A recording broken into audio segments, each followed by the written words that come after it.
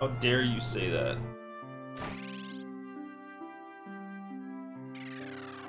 They're beating old men. Who's that? What do you want? We need to get into the sewers. We're looking for some lemongrass shoes. Why? Why? Are we though? Got a death wish or something? That place is Monster Central and it smells bad too. We need lemongrass shoes to find the fourth crystal. Crystal, you you're the four warriors light. But the four warriors, we're the chosen ones. Those four claim they are too. Say they're going into the sewers, then we'll beat them to the punch. Go, go, go, the sewers, gentlemen. Hello. Get out of here, fucking bar Luigi, fuck, fucking Mario rejects. Get out! I'll show you the way into the sewers myself. Follow me.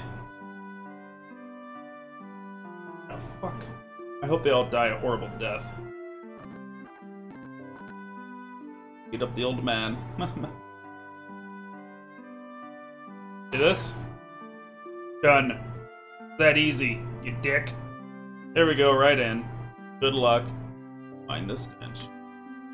First things first. I'm a Viking. We're gonna pillage your crops.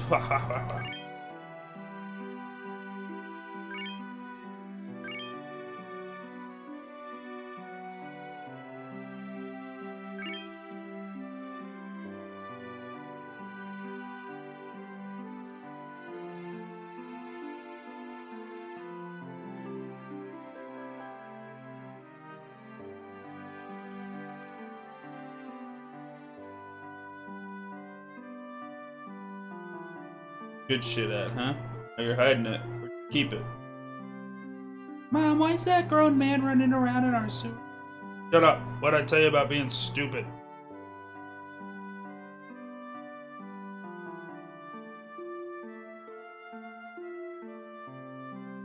Did you end up watching Norsemen show? Funny as hell. I don't find it funny. Humor was doing nothing for me. Watched the first episode and was whelmed.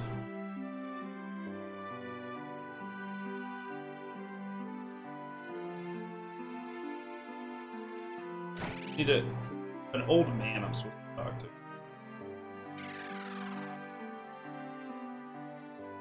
Well, it's just, it's... The jokes go on for too long. Like, when they come back, they land the boat, and he's just like insistent on hanging out with them. Like that joke just went on for like far too long of them like keeping him at arm's length.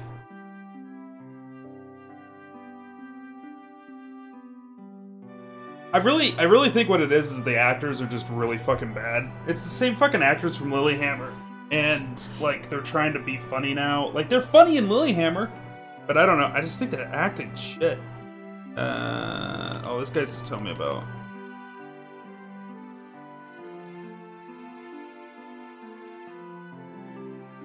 Tell me about the jobs. Um, yeah, I don't know.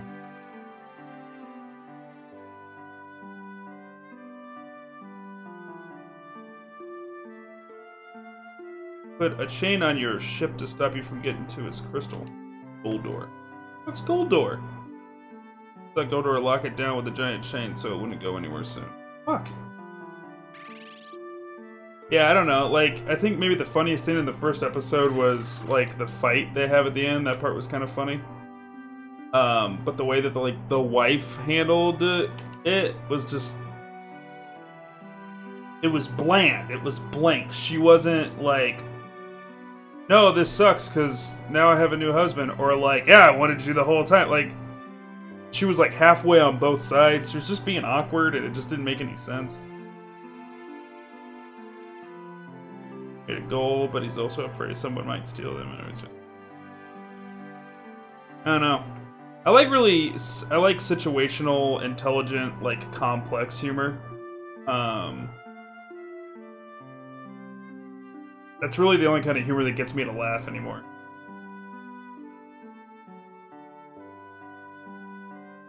Can't cross the mile and spot unless you get lovegrass shoes. I think Delilah owned a few of those. You can find her in this. There we go.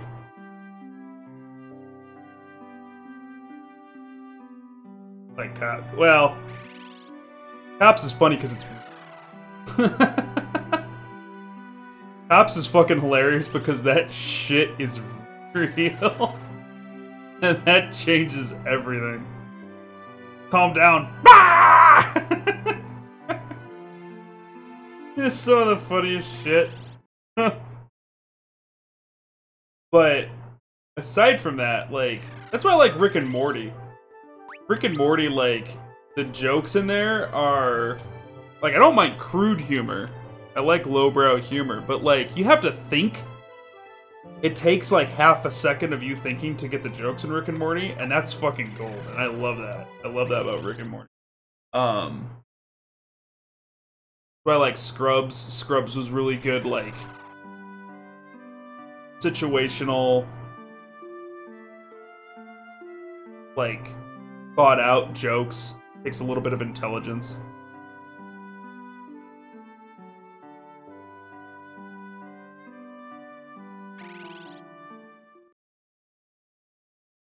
I hated Scrubs. I loved it. I also worked at a in a hospital at the time that I was watching it, so it was a lot more topical for me. Which I which I do know I give a lot of a lot of credit for it. Yeah, well, there's seasons where it's sappy romantic, but I mean, it's maybe like a third of the entire series is sappy romantic. But they deal with like real shit too. But I liked it more than just a comedy. Uh, wait, so we got Giant Toad and Darkwood.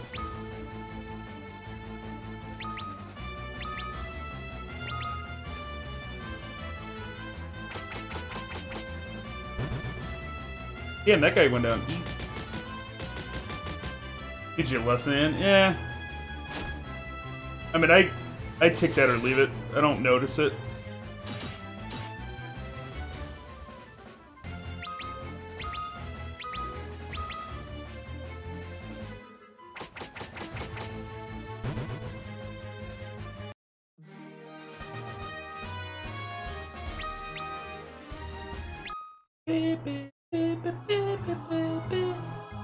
Yeah, I can get that.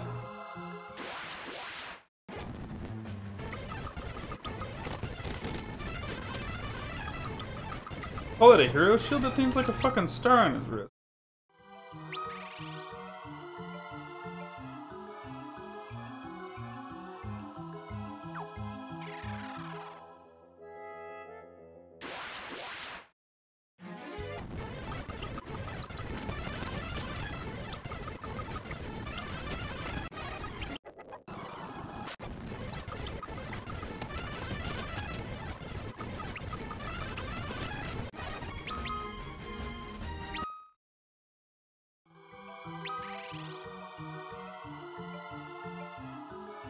I love the characters in fucking in Scrubs. Their their characters were fucking.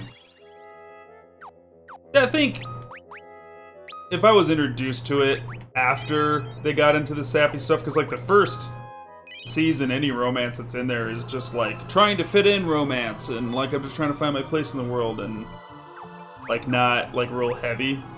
But if I had gotten introduced to it when like it was in season five or six, I probably would have been a little bit more annoyed with it. Hey, you raised, how you doing?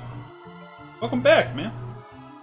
But uh, their character design, like Bob Kelso and Dr. Cox and the janitor, fucking just genius fucking characters. And fucking Ted, the fucking attorney, like, Jesus Christ. And the fact that they stick to the tropes and they really don't change it too much unless it really tells a good story. I really liked it. It was some funny shit.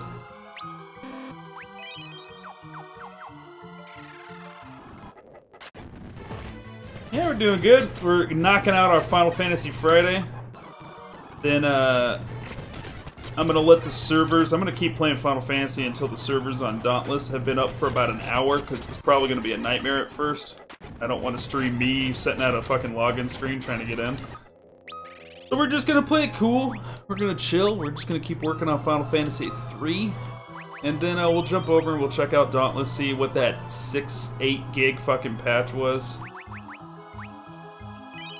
Is it already live? Supposed to go live at noon, which is in 10 minutes. Fucking jumped the gun on that one. You guys don't even follow their own tweets.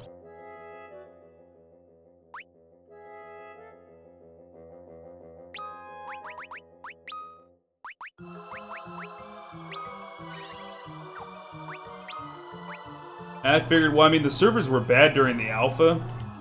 Um, so I figured with them moving over to the beta with so many more people getting involved, it would have had, had to have had, like, a really bad launch, but I guess not, huh? You won the second code, right, Aconite? So it ended up working? I was so blown away, I didn't know somebody was going to show up with a second code and offer it, and, uh it would actually work. I was really concerned that like it was like a used code and they were trying to make me look bad, so that's why I kind of prefaced it. Crazy! I am so blown away that that worked. That's cool. I have to do something to uh, make it right for uh, Belisarius, my mod, because we legitimately did not I didn't do anything to cause two of my mods to win. Rebel Red, he went all in to make sure that he, he could win. So he, he spent a ton of runes. So I knew he would win one for sure. But when that second coach showed up, like shit, both my mods win. That's that sucks. And he whispered me real quick, and he's like, "Hey man, don't like give it to somebody else that's new." I gotta find something. We'll do something for Billy. Maybe I'll give him something in uh, D&D. I'll give him like a six sword or something.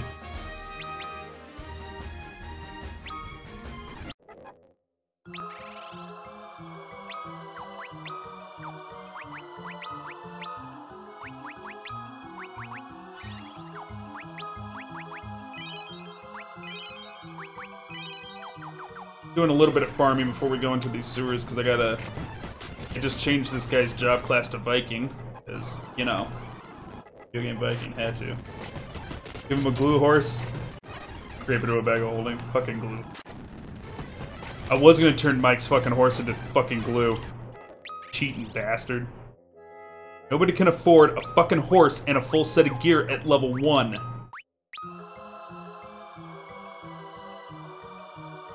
Ronnie. Look it up. I love you, Ronnie, but look it up, man. Like, all these questions I don't have the answer for off the top of my head. I, I have it for that one. But I'm gonna have to look it up. It's just as easy for you to look it up. Why is it going so fast? It, I I can hold down I can hold down the right trigger and it goes fast forward. It allows me to farm and get the farming out of the way without it being super boring for the stream, so I fucking I, I love it. I love that ability. Uh, we had this running joke in a previous campaign in the world that heroes turned uh, horses turned to glue when they were frightened. Was that it? I was just gonna, I was just gonna kill his horse and then sell it back. And they're like, "Why would you sell back a dead horse?" And I was like, "For the glue." It spiraled. Yeah, it was when it was because the whole thing started when uh, Harris was playing that rogue, and he took starting gold from two different things. You either get your starting gold from your class or you get it from your background, and he took both. And he had just so much fucking money. He completely instead of taking like the pick this or this, this or this, he took the gold instead and he outfitted himself with all that stuff anyways. Which if you do that, you should only have like 10, 20 gold left over. He outfitted himself and then still had enough left over to buy a horse because he said, "Oh, I took the noble background." And like I went through and triple checked his math, and there's a rule in the book that says either take the money from your background or take the money from your class if you forego the